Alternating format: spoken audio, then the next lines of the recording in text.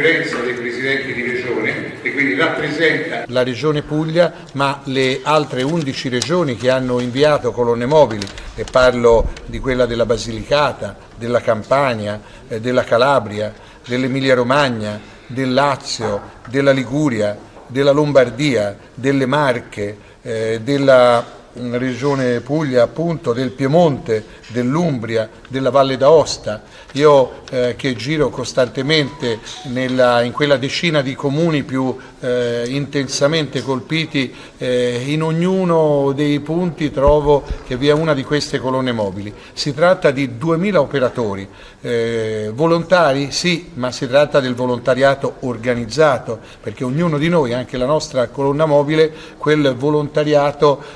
eh, lo specializziamo insieme ai nostri funzionari con continui corsi d'addestramento, con continua agibilità e abilità nell'uso di macchinari. E di persone eh, che come da noi eh, integrano. Stiamo passando eh, ora nella fase eh, diciamo dell'intervento minuto, dello sgombero di quello che è l'acqua e il fango che c'è nelle cantine, nei seminterrati, nei laboratori, negli stabilimenti e conseguentemente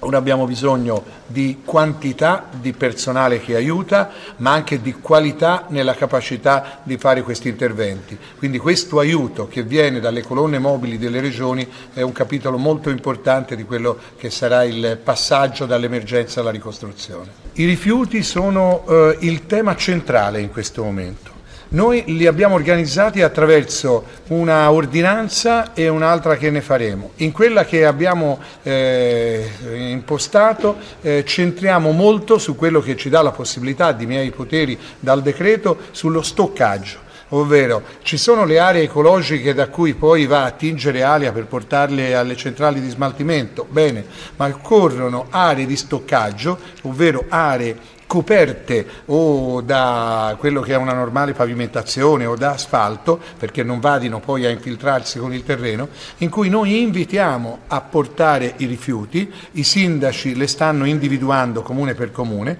perché queste aree di stoccaggio siano quelle che per un mese, due, trattengono i rifiuti in modo che progressivamente dopo il primo impatto si possa smaltire negli impianti della Toscana e fuori della Toscana che grazie a questa solidarietà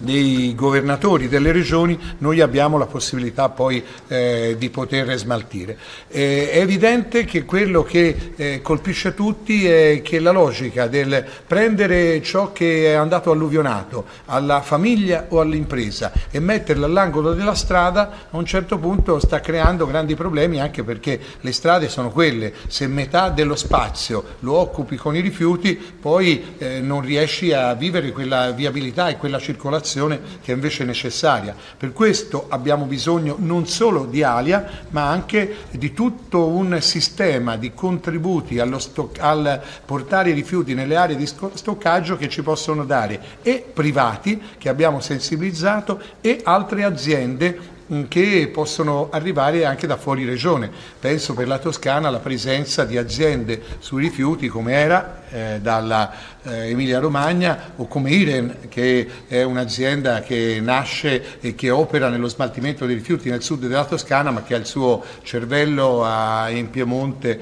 eh, che tutti conosciamo. Eh, tutti questi soggetti devono però essere contrattualizzati e questi io nell'ordinanza l'ho messo perché nella legge eh, ce lo indica chiaramente, con ALIA, cioè devono essere contrattualizzati, io non posso attivare accanto alla nostra eh, azienda di rifiuti il privato direttamente, perché dovrei poi seguire delle procedure che eh, anche le ordinanze non derogano e sono procedure di evidenza pubblica che ci portano via del tempo, mentre invece possono vivere il loro contratto con l'azienda specifica che è appunto ALIA.